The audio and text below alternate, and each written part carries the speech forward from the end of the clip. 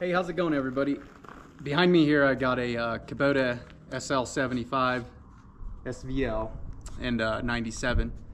Uh, the 75 is my friend's. Uh, my friend Sonny. He's been letting me borrow it for a couple months. while I was trying to figure out what kind of skid steer I wanted to buy. Um, I did end up going with the SV97 um, for my, myself. But I wanted to make this qu uh, video quick for you guys because when I was trying to figure out what skid steer I wanted, I had a really hard time trying to figure out and uh, get information on what kind of one would work best for me. And um, I've had like a couple of weeks to spend quite a bit of time on both both tractors. And I wanted to just share with you guys what I thought about the two, what one does what great, and just kind of my general opinion on the 65, or I mean the 75 versus 97. Um, and I hope that helps you guys if you guys are looking up videos and trying to figure out what tractor you want to buy.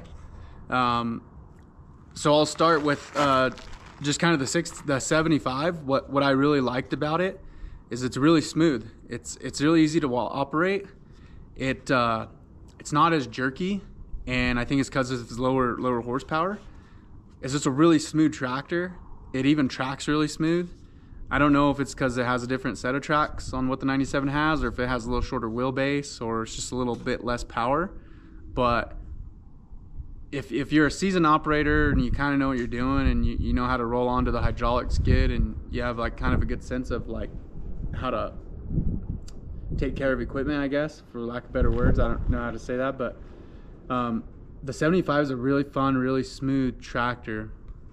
Um, and I and I guess I'll just go right over to 97 and tell you guys why I found I didn't know the 75 was so easy to operate until I did buy the 97.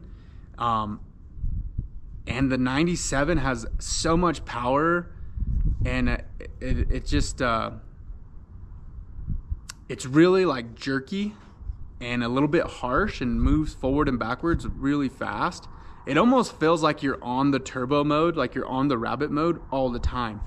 And there's even like almost this tiny bit of lag where like the turbo's kicking or something and it just kind of like goes from like not going to like really hauling ass. And it's a little tricky. It's it's not big. It's actually really fun for a seasoned operator who really knows how to like roll onto the joysticks and can predict that power know when it's going to hit and just kind of learn the tractor really quickly.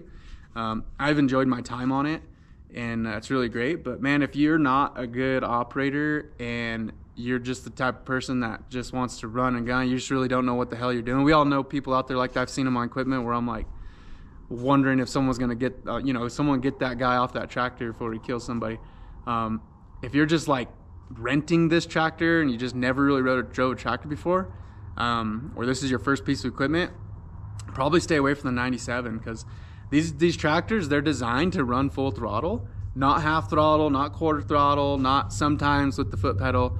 These things are made to run wide open, and um, if you can't run it wide open like that without getting jerky wild and bucking yourself out of the seat, just get get out of it and don't even think about getting the 97 because it that thing is a powerhouse. It's a dog and it wants to eat all day long, and it's gonna take anything you can give to it. Um, I have a lot of fun with it, but because it's that way, it has a little bit more of a tendency to get a little bit out of hand and feel just a little bit harsher when operating. Um, you just gotta like really have it together the whole time you're on that tractor. Um, but it can be a really fun tractor. But going back and forth to the two, it makes the 75 really pleasant to operate. It really does. It makes the 75 like really like almost feel like a Cadillac.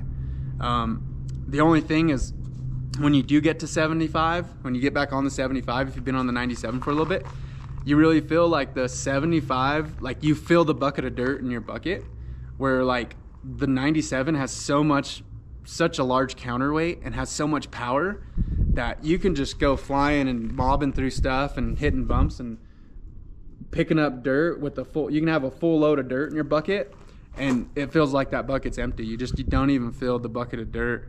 You don't feel it bogged down when you go into anything. The tracks will just start spinning, um, and just you'll just start digging. Um, the, the, thing like I, the, the, difference in power is unreal between the two. Um, so it makes it a, a, you know pros and cons. It's like makes it funner and it also makes it not funner. as far as the 97 goes um, because of how much power it has. But like I said, if you know how to operate good, the 97 is a real joy to joy to be on and can save you a lot of time and you can do a lot of work in a really short period of time uh, if you know what you're doing. But um, anyway, that's what makes the 75 feel so good. Um, but yeah, when, when you go back to the 75, you really feel that bucket of dirt in the 75 bucket. You really feel kind of tippy, kind of like not that it can't handle it. It does it does a great job. It has plenty of power. It's a it's a massive skid steer compared to a lot of those on the market. It's gonna be right there with like the Takeuchi TL8 probably, um, and uh, it just it just it does a great job. It just compared to the 97 when you get back on the 75, like you, you feel the bucket of dirt. You feel it kind of bogged down a little bit, or them hydraulics kind of go into recirc or reflow, whatever they call it, when you when you're really like pushing into something. Um, where you just don't notice that on 97. Um, but yeah, that's my thoughts. I mean, other than that, they really feel really. They're both amazing pieces of equipment. Um, I did get a chance to ride a 65 for a little bit.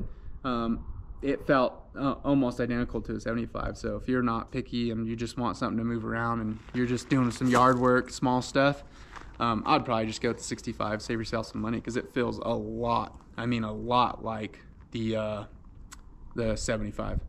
Um, but yeah, uh, that's my opinion on both tractors. I love them. They're both great. Uh, I would only get a. I mean, I, I got the 97 because I, I'm usually working on my motocross track, um, moving large amounts of dirt. When I'm on a job, it's uh, maintaining roads, moving culverts, um, putting that pile of dirt over here, and just really, just really moving dirt and trying to do it pretty quickly.